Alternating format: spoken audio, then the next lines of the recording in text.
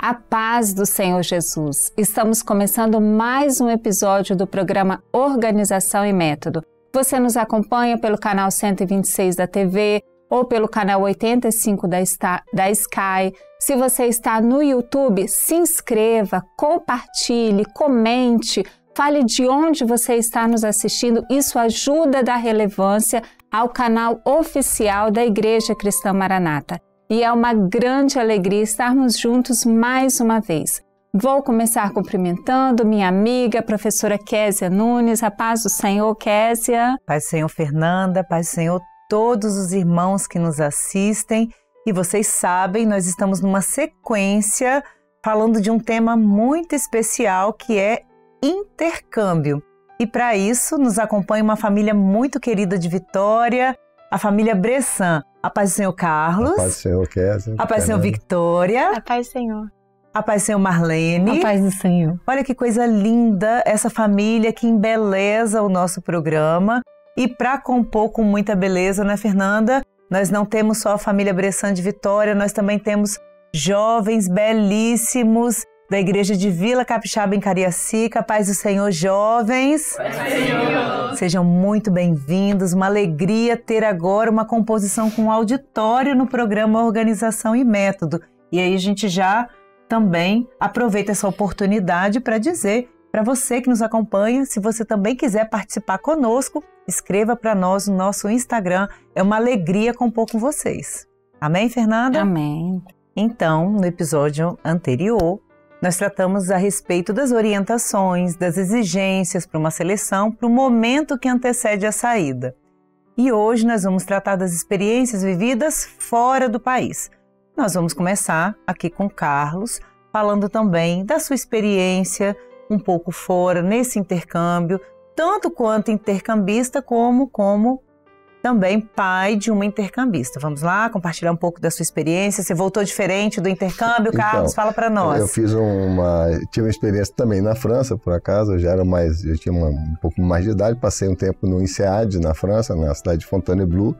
E também foi uma experiência maravilhosa também, não só pela cultura, pra, pelo aprendizado, mas também pelo, pelo conhecimento da escola, uma escola de, de, de, de negócios na, na, na França.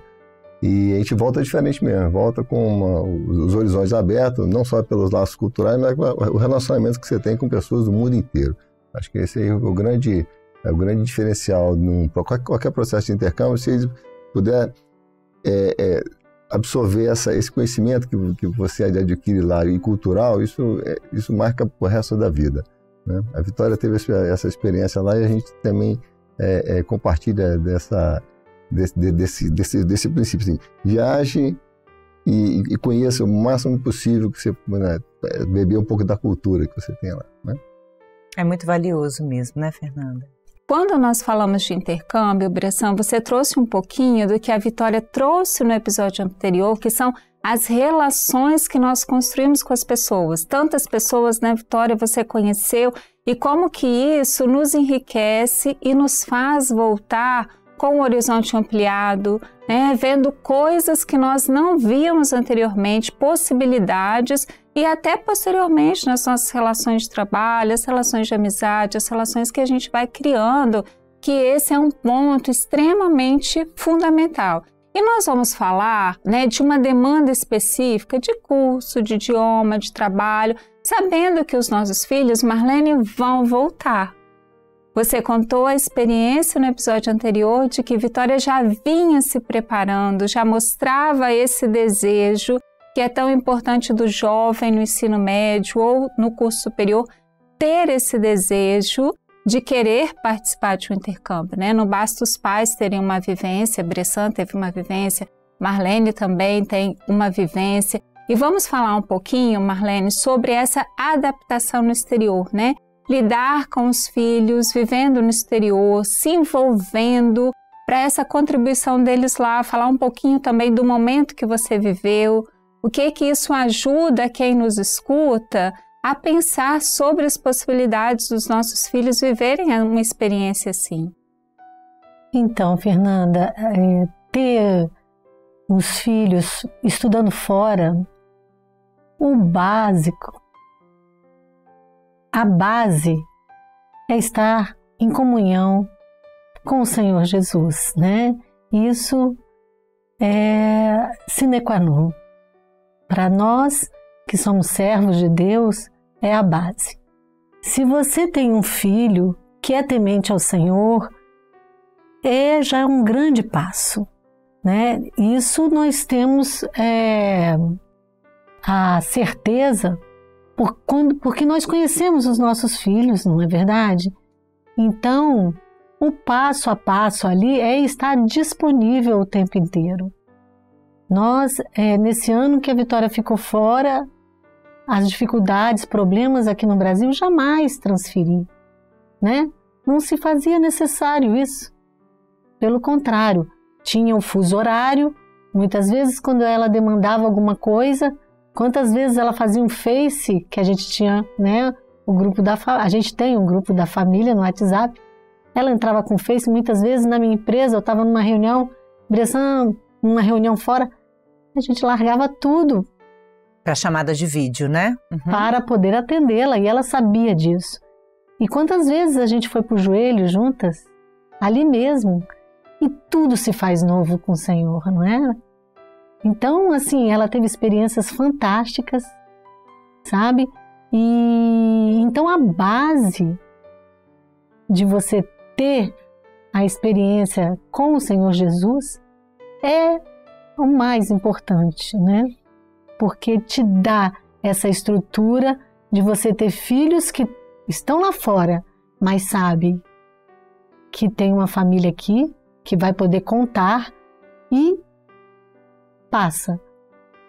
E quando você pisca o olho, eu estava lá para buscar, porque eu tive a oportunidade de ir para agradecer, inclusive as famílias que recepcionou a Vitória tão bem. E hoje elas fazem parte da nossa família também. Ampliou o grupo, né, de amigos, é, de convivência, né? E eles não se conheciam as três famílias e se tornaram amigos, inclusive e moram na mesma cidade, próximo da escola, né? Porque tem que ter toda uma harmonia, né? Então, um recado importante para as mães, Marlene, que você pode deixar com essa experiência do amadurecimento de ter um filho, da amizade que foi construída entre três famílias, como o Senhor os usou para aproximá-las. É. E, e sentir a maturidade do filho, né? se o filho ele tem uma maturidade de poder ir aos 15, ou aos 16, ou aos 17, ou até mesmo aos 18, porque o intercâmbio que a Vitória fez aceita até os 18 anos. Então, vai muito de cada um. A Vitória ela foi muito forjada ó, todo desde mundo pequena. aqui, ó, com o olho brilhando. E quando você falou até os 18, todo mundo aqui pensando, é agora que eu vou é. me inscrever. Então, é, os pais, eles sabem, né? Qual é o tempo certo para falar sim. Vamos então embarcar nessa nova jornada, é claro, com o endosso principal do Senhor, não é mesmo?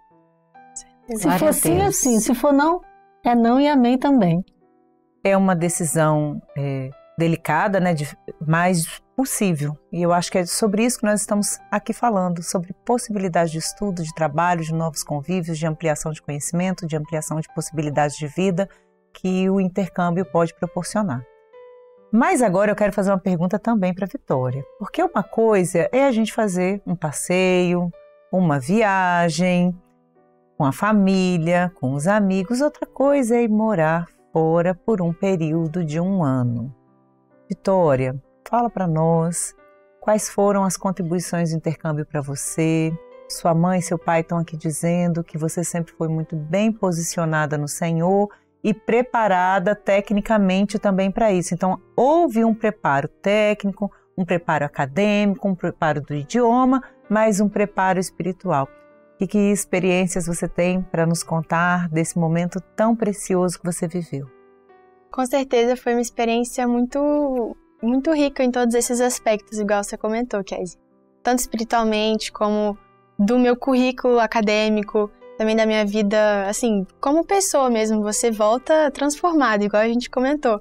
Porque as suas percepções, você vai experienciando tantas coisas diferentes e as ideias que vão vindo, as experiências que você vai vivendo mesmo, aquilo vai te, for te forjando em uma pessoa, né, mais, mais preparada e para agarrar e para viver as oportunidades, claro, sempre aos pés do Senhor. E também é muito interessante porque é um intercâmbio cultural. Você está em um outro país. Então, mesmo que eu até me empolgo quando eu falo, porque foi uma experiência muito maravilhosa, eu fico muito feliz de falar sobre isso, de compartilhar, mas tem a parte mais difícil, da, não, assim, das dores, vamos colocar assim. Porque você tá ali sozinho, a sua capacidade de se adaptar com pessoas, tantas pessoas, os franceses no meu caso, mas tinham é, outros intercambistas que eu fui conhecendo ao longo do ano. Você tá ali naquela família, numa outra família que na verdade é uma outra convivência. Então eu tinha meu conforto no meu lar, eu entendia como tudo funcionava, mas eu estava ali numa outra casa, com outras pessoas, com outros costumes. E é muito importante o que já a gente comentou no episódio passado, que não é você, não é a família que vai se adaptar a você, é você que vai se adaptar à família, você que vai se adaptar àquela experiência que você está vivendo ali.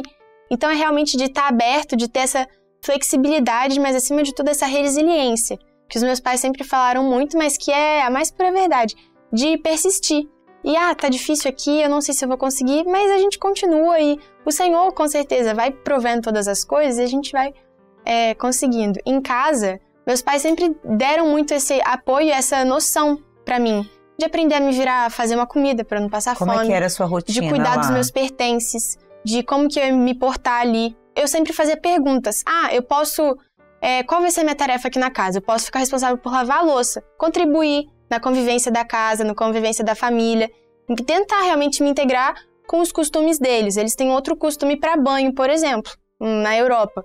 No inverno. É curioso, gente. É curioso eu falar até. bastante coisa. Eles, tom, eles tomam banho a cada dois dias, assim. É, eu, tomava, eu perguntava, eu posso tomar todo dia? Porque eu tô acostumada a tomar banho todo dia. Mas se eles. Assim, cada família tem os seus costumes. Então, das meus pertences, como que ia fazer? Eu tinha um quarto para mim, na minha mala, tudo. Então, tudo isso é combinado. E para não causar nenhum constrangimento, nenhuma intriga, uma coisa que eu recomendo muito é perguntar. Não tem que ter vergonha de perguntar: "Ah, como que funciona isso aqui na casa de vocês? Como que a gente pode combinar isso? Qual que pode ser a minha tarefa para tal coisa? Como eu posso ajudar?" Que isso eles também veem uma proatividade em relação ao intercambista e falam: "Ah, realmente, ela não tá aqui à vontade, achando que tá no hotel, chega, come e vai embora da mesa." Então você, você não ficava só no Instagram? Por incrível que pareça. É mesmo? Não, não pode ficar só no Instagram. Então é exatamente essa parte de você se integrar à família. Mas não só a família, todos aqueles que estão à sua volta nesse processo que você tá lá fora. Porque você vai dar, acima de tudo, o seu testemunho, né? Então, com o seu relacionamento das pessoas da escola, como que isso funciona. A, a Europa, de modo geral, é, que foi a minha experiência, é um ambiente, uma região muito fria espiritualmente. Então eu me encontrei num cenário em que ou as pessoas eram ateias ou elas eram de outras religiões, mas cristão, cristãos mesmo, muito poucos. Então aquilo foi um choque muito grande para mim. Aqui a gente está muito acostumado toda semana ir no culto e servir ao Senhor e no Manaim, tem seminário, é muito forte aqui. Mas lá eu, eu fiquei assim, nossa, né, o que está acontecendo? Mas o Senhor nunca me desamparou. E isso foi essencial de sentir que o Senhor estava comigo em todas as coisas e que esse meu testemunho, que estava o Espírito Santo dentro de mim, que iluminar e iluminar a vida das pessoas que estavam em volta de mim também. Então eu tive, é, por exemplo, uma experiência Vitória, muito. Vitória, vamos ler um texto que então, Vitória me falou desse texto, Kézia, para ela contar as experiências que ela viveu com as famílias. Ela já disse para os nossos jovens que precisa ter uma tarefa em casa, não é isso? Sim. Gravaram essa parte? Tenho certeza que todo mundo tem uma tarefa, porque chegando lá, ó, tem que lavar a louça, ou tem que ajudar na limpeza da casa, tem que cuidar do quarto, dos seus pertences. Ninguém deixa nada família, né? jogado. Né? Não foi isso que ela falou? Né? Que ela não dá para ir no banheiro e deixar a escova e a pasta de dente aberta. Mas olha, são lindos. Mas eles não fazem isso, não. Eles são formados na organização e método. Isso mesmo. Mas é uma coisa importante que desde 2020 a Vitória traz um relato que reforça aquilo que nós estamos conversando com os pais, que é das rotinas em família. Né? Os nossos filhos, desde pequeninos, precisam ter uma tarefa. A gente começou falando, pode encher o litro d'água, não foi isso, Kézia? Foi uma alegria quando eu comprei um filtro. Meu filho parou de encher o litro de água, eu virei uma mãe muito melhor para ele, porque ele achava que a gente bebia muita água. Essa Mas a Vitória traz isso, né? Que estando em uma outra casa, precisa de uma adaptação. E nós vamos pedir, Vitória, para você contar agora as experiências que o Senhor te deu.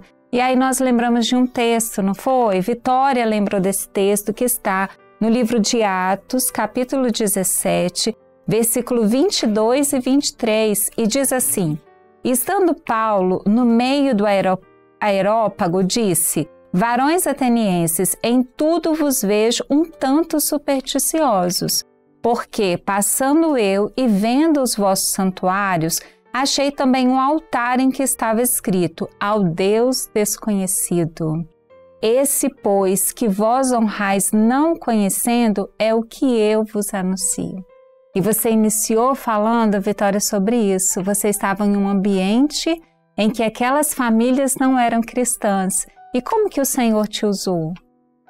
Foi realmente uma experiência assim de evangelização. Então, a partir do meu testemunho, é, de eu estar ali na convivência com eles aos poucos, nos domingos de manhã, eu ia no culto. E só disso eles não tinham esse hábito, mas só de olhar aquilo eles já se espantavam. Então, às vezes, são as pequenas coisas nas nossas ações, no nosso modo de falar, que vão que vão causando percepções nas pessoas, elas estranham. Ah, mas olha isso, é diferente. E o nosso testemunho, a luz do Espírito Santo que brilha nos nossos corações, vai refletindo nessas pessoas, elas são incomodadas por causa disso. É exatamente o exemplo de Paulo, como a Fernanda acabou de ler. Paulo estava numa terra desconhecida, ele examinou tudo primeiro e quando ele teve uma oportunidade, ele falou do Senhor. Porque os, naquela época ali onde ele estava com os gregos, tinha uma estátua para cada deus mas tinha uma estátua que era do Deus desconhecido, mas que na verdade era o Deus desconhecido para eles e conhecido por Paulo. Então o Deus que é conhecido por nós, que nós conhecemos, é o Deus desconhecido para eles. E é a partir de nós, nós como vasos na mão do usados como vasos na mão do Senhor, que vamos mostrar esse Deus que nós servimos para eles. E ali foi muito interessante porque, como eu mencionei, eu estava com pessoas que não acreditavam no Senhor, tinham outros valores diferentes dos meus, no ambiente escolar, por exemplo, e, e que aquilo ali foi incomodando as pessoas aos poucos. Então você não chega impondo su, as, suas, as suas crenças, aquilo que você acredita. O Espírito Santo toca o seu coração e em algum momento o Senhor te usa e você é luz na vida daquela pessoa. E eu tenho uma experiência muito marcante, se eu puder contar rapidinho. Claro. Que é, eu, então eu tinha na aula, é, eu tava na, na aula com vários alunos, tinha uma menina que ela era de outra religião e não acreditava no Senhor, nunca tinha ouvido nada disso. Aí ela virou para mim um dia, depois da aula, a gente saiu todo mundo, fomos num café, né? Vamos lá, vamos sair todo mundo rapidinho ali para conversar. Fomos com mais pessoas da sala, um grupinho. E ela virou para mim e falou: "Vitória, você acredita em Jesus?" Eu falei: "Acredito, acredito." E um dia eu aceitei o Senhor na minha vida como meu único e suficiente Salvador. Foi a melhor decisão que eu já fiz na minha vida. Ela falou: "É, realmente, tudo isso que você que você fala que você vive, eu vejo que você é diferente, você não é igual a todo mundo. Me fala mais desse Deus aí que você serve, porque eu tô passando umas, umas situações na minha casa, tô precisando de uma paz, de uma palavra de esperança. E naquele momento eu comecei a falar do Senhor para ela, comecei a contar experiências que eu tinha vivido, comecei a contar do amor do Senhor pela vida dela e de como ele é maravilhoso nas nossas vidas. E aquilo foi tocando o coração dela e ela foi se quebrantando, ficou muito emocionada e falou: Vitória, realmente, é disso que eu precisava. Eu quero saber mais desse Deus que você me conhece. Eu quero ouvir esse Deus que fala com você. Como que eu faço para ouvir a voz dele? E aí eu tava com a mochila e eu levava uma Bíblia na minha mochila. Eu falei, quer ver que Deus fala mesmo com você? E aí eu peguei a Bíblia nesse momento e aí abri e li o texto. E aquele texto falou no profundo do coração dela. Ela começou a se quebrantar, o Espírito Santo visitou ela e hoje em dia ela é cristã. Hoje em dia ela serve Glória ao Senhor. A, a casa dela não, a família dela é de outra religião, mas ela hoje tem experiências maravilhosas com o Senhor, não só ela, como outras amigas e pessoas que estavam próximas de mim. É claro, eu era a única estrangeira da minha escola, então todo mundo sabia que, ah, é brasileira, então era todo mundo francês. E aí é, eu era muito amiga de todo mundo, não é porque a gente, a gente não, a gente é, assim, crente, a gente é da igreja, que a gente não pode se relacionar com todo mundo. Conversava com todas Tinha as um pessoas. Bom convívio, né? Mas exatamente, um bom convívio, sempre pautado no respeito, na tolerância com todo mundo. E quando o momento, o Senhor toca o nosso coração. Mas aquelas pessoas que eu era bem próxima, eram pessoas que eu via que eram do bem, que tinham valores parecidos com os meus. Então, o pessoal da barra pesada, vamos colocar assim, conversava, tratava, mas não eram tão próximos. E a partir dessas pessoas que eu via que tinham valores parecidos com os meus, eu falando do Senhor para eles, e hoje em dia todos eles são cristãos também. Então foi uma experiência assim de realmente do nosso testemunho, sabe? As três famílias, a partir das pequenas ações. Hoje em dia todas elas acreditam no Senhor, servem ao Senhor. Não tem igreja maranata lá na, igre... lá na cidade que eu morava, mas elas estão ligadas a uma igreja assim cristã, evangélica também, e é uma bênção, assim. Elas falam que Vitória, você foi uma bênção do Senhor que veio nas nossas na nossa família, nas nossas casas. Elas não se conheciam, três famílias assim, completamente diferentes umas das outras, mas que hoje em dia todas são muito ligadas e que eu falo que é a minha grande família francesa. Tive, algumas tinham filhos, então minhas irmãs, irmãos franceses, minhas mães e pais franceses, né, assim, que a gente guarda um carinho muito grande, porque eles me trataram como filha mesmo, porque via que eu tinha esse esforço, que eu tinha esse, esse zelo muito grande por eles, que eles eram ali a minha referência. Né? Então, a gente acaba criando esse elo que é muito importante. Nós estamos falando de intercâmbio. Nós levamos um pouco de nós e trazemos um pouco deles. Vitória aqui e também Carlos e Marlene já mencionaram os diferentes valores culturais, os bens materiais e imateriais que eles trouxeram das viagens. Mas Vitória que conta que ela levou o tesouro mais precioso que essas famílias poderiam encontrar. Além do benefício do convívio, dos elementos culturais, dos conhecimentos, Vitória levou uma experiência de salvação aonde ela esteve. Então, sem dúvida, esse foi o tesouro mais precioso compartilhado nesse intercâmbio, né, Vitória? Sim. E experiências belíssimas, né? Foi maravilhoso. Muito bom. Coisa maravilhosa, então, saber que nós temos agora outras famílias que servem ao Deus que era desconhecido para eles. É isso mesmo, Vitória? Agora ele se tornou conhecido? Agora ele se tornou conhecido e cabe a nós, servos do Senhor, de mostrar esse Deus que nós conhecemos. Não é porque a gente é, nós somos servos do Senhor que não pode fazer intercâmbio. Claro que pode. Busca o Senhor, o Senhor vai direcionando todas as coisas, porque em cada pedacinho, cada momento que eu vivia, eu via a operação do Senhor, nos mínimos detalhes. E quando é o Senhor que prepara os planos para as nossas vidas, eles são infinitamente maiores e melhores do que aqueles que a gente podia traçar para nós mesmos. E, e realmente é assim, ide, ide anunciar o evangelho, além das fronteiras. Então a gente tem esse dever de ser vasos, instrumentos na mão do Senhor. Então é claro, se o Senhor tem mostrado, tem abençoado, amém. É isso. Uma é uma coisa importante, Vitória, quando você traz esse registro, é lembrar aos pais que nos assistem da estrutura que Marlene e Bressan deram à Vitória desde pequenina. Né? Vitória não abre a Bíblia do nada lá para saber que o Senhor ia falar com aquela jovem. Exatamente. Ela tinha toda uma experiência que ela levou do seu lar. Quantas vezes consultou o Senhor? O Senhor disse não e você fez o que, Vitória? E continuou obedecendo o Senhor. Obedeceu ao Senhor. Então, é desde essa estrutura e saber de ser usada, né? Além de todo esse intercâmbio dos estudos, o intercâmbio cultural, mas saber que, assim como Paulo falou a tantos ali, o Senhor te usou para aquelas três famílias, porque havia um propósito. O seu desejo era a Alemanha, o desejo do Senhor era a França. Por que, que o desejo do Senhor era a França, né? De alcançar essas famílias que você ia ficar, sim, que você aprendeu a lidar com as regras da casa dela, né? As meninas na escola, a única brasileira, ficou pensando, né? A única brasileira em qualquer país, mas ali no meio dos franceses, e eles te ouvirem, pedirem a você para falar do Deus maravilhoso, do Deus bondoso que nós servimos, como foi importante a sua ida lá, não só para você aprender, não é isso? Quando a gente é servo do Senhor, a gente recebe, mas a gente tem muito mais a dar também, né, Vitória? Exatamente. Você falou desse Deus glorioso. E Marlene depois teve uma troca, porque a Késia falou no início que intercâmbio é uma troca, não é isso?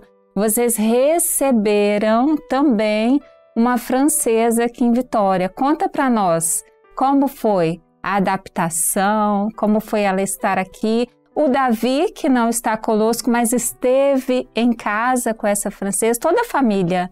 Conta um pouquinho para nós. Então, é um choque né, de cultura no primeiro momento, porque é, a, era uma intercambista que não conhecia o Senhor, mas nós que recebemos a intercambista, a gente recebe com muito amor, com muito carinho, né? Tinha, ficou na mesma escola que a Vitória é, ficou e o nosso filho, o Davi. E quando ela chegou na nossa casa, nós fizemos, né, aquela reunião de welcome, né? E ali também colocamos as regras, né, que é importante ter, porque é, ela tinha que entender a família, a gente sempre já fazia, né, o FaceTime, como eu, a gente fez também com a família que a Vitória ia ficar. Antes de chegar, né? Antes, lá na França, antes dela ir para a França. A mesma coisa a gente também com a família da intercambista francesa que veio. Então eles sabiam que a gente era evangélico e ela nos acompanhou várias vezes ao Manaim, teve oportunidade, tem fotos com os pastores, o pastor Gedeuti, inclusive, e foi uma experiência muito bonita, muito gratificante. Ela ficou conosco quatro meses, porque ficou depois com mais duas famílias do mesmo nível nosso. As famílias que Vitória foi recepcionada, a mesma coisa, são famílias com base, com estrutura, né? É. Familiar, né? De máquina de lavar funcionando, uma cozinha funcionando, uma casa. Então, isso também é importante das mães também ter essa atenção quando levam o filho, né, para fazer entrevista com programas de intercâmbio, verificar, né, qual é a família que a, o seu filho, sua filha vai ficar. Isso é importante demais, porque para ter essa base, né, porque são jovens, né, tem, tem uma idade onde que eles precisam ser guiados. E com a intercambista francesa foi isso Teve algumas, né? Várias, por sinal, dificuldade, principalmente na parte de, dos hábitos, de muita liberdade, né? Porque lá eles têm não esse teve não, Bressan? de ser muita acordo. liberdade. Acordo, então né? a gente foi ali, né? Guiando, porque a gente a criação dos nossos filhos era, era bem diferente, mas valeu muito a pena também. E a gente sempre muito presente também, né? E foi uma experiência muito bacana. É, é exatamente isso aí. É, esse choque cultural tem que ser administrado, né, pra, não, não, importa se é indo ou vindo, tem que ser administrado pela, pelas famílias. Né, e vai do intercambista ter que aceitar é, as regras da, da, das casas lá. Eu queria falar um pouquinho da Vitória, ela não falou, é, mas é o seguinte, né, no, no Rotary tem uma durante o período todo que ela fica, ela, ela tem que fazer uma apresentação da cidade que ela mora. Olha, eu moro em Vitória, esse aqui é meu pai, minha mãe, meu irmão, meu pai está aqui, trabalha com isso aqui, e o meu Rotary é esse. E o que, que o Rotary faz? Eu tenho esse projeto, tem esse, esse. E ela teve a oportunidade de apresentar um projeto do nosso, do nosso clube, que chama Montanha da Esperança, que é um abrigo. E o pessoal gostou tanto desse projeto que eles resolveram, e, puxa, a gente podia ajudar vocês lá também. É que a gente está ajudando um país, não, tipo Estônia, não sei, um é, país lá. Distante. Eles estavam um país distante, não, a gente pode ajudar vocês, em vez de ajudar lá, então a gente pode ajudar vocês. Então acaba captando recursos, ela vira uma embaixadora para captar recursos para. A Vitória também completou, esticou todo o checklist do intercâmbio. Fez atividades extra é, fez esguima, fez escotismo, foi, foi, foi escoteira, foi. Né, foi escoteira, foi acampar, foi, foi à igreja, ou seja, ela participou do, do, do, dos programas, fazia né, academia e tal, tudo, tudo que para ela fazer, ela fazia. No último dia do, da reunião, do último reunião do Rotary que teve lá, o chairman do, da área do intercâmbio foi até o clube dela e deu para ela um bottom de Student Exchange. Né? Era de Outstanding Student. Outstanding Student. Tipo, aluna incrível, assim. Aluna, é, então ela ganhou o bottom melhor intercambista da França daquele ano. Dentre lindeza. centenas de, de O Senhor é um destaque, né? né? O Senhor É, vai o honrar. Senhor à nossa frente. Bacana. Então, né? por exemplo, isso mostra assim, o reconhecimento que ela, Do do, de todo o né? esforço que ela teve durante um ano, longe da família toda, e que, olha, Foi lindo. foi lindo. Você pega, você pega a foto do, do dia dela recebendo, ela está se transbordando de alegria. Bom, ela não esperava, ninguém ninguém está lá para poder receber prêmio nenhum, mas assim, o reconhecimento que o Rotary deu para ela pelo, pelo, Pelo pelo, desempenho, todo o né? desempenho que ela teve lá, foi, isso, aí, adoraram. Então, esse aqui é, é, o intercâmbio do Rotary, é exatamente isso aí, é essa troca. Né? Lá tem uma pessoa para dar assistência e tal. E aí, e aí compete a cada um dos intercambistas que vão dar o melhor de si. É o momento deles, é, é- queira, queira muito. Né? E a gente está aqui para ajudar, a pessoa tem que querer. E viver tudo que o intercâmbio te proporciona, né? Então tá aberto pra viver tudo isso. Viver tudo isso. É melhor nós conselho. estamos vendo um propósito, né? É, acho que é importante dizer sobre isso que nós temos uma família que está dentro de um propósito. Então as coisas não estão sendo feitas de uma forma aleatória. Nós temos um pai, uma mãe, filhos que conhecem o propósito do Senhor. Então, no momento de dizer não, foi dito não e foi obedecido. No momento de dizer sim, toda a família estava é, convertida nesse projeto, né? Então, empenhada neste projeto. Então, tanto para levar quanto para trazer, havia um propósito de evangelização para ir e para quem chegava e em obediência ao Senhor. Então, é, a partir de uma experiência como essa, nós queremos dizer para as famílias que nos assistem, os jovens, não tenham medo. O medo é um espírito e a fé afugenta o medo. Aquele que está no projeto, no propósito do Senhor e que trabalha, não precisa ter medo. Então, se você está buscando uma experiência, seja de intercâmbio ou de qualquer outra que nós estamos aqui mencionando a respeito dos estudos, não é que são os temas que nós temos trabalhado, busque com dedicação, né? É isso que o Senhor fala, esforça-te, tem bom ânimo, mas também, sobretudo, dentro do propósito que o Senhor tem para você. Nós temos aqui jovens com muitos sonhos, não é isso? Muitas possibilidades de estudo, de trabalho, de experiência, e assim como nós estão aqui buscando inspiração na experiência dessa família, né? Eu acredito que também aqui veio para inspirar tantas outras que vão nos assistir, né, Fernanda? Só agradecemos, né? Kézia, nós agradecemos o carinho da família Bressan, Bressan, Vitória, Marlene.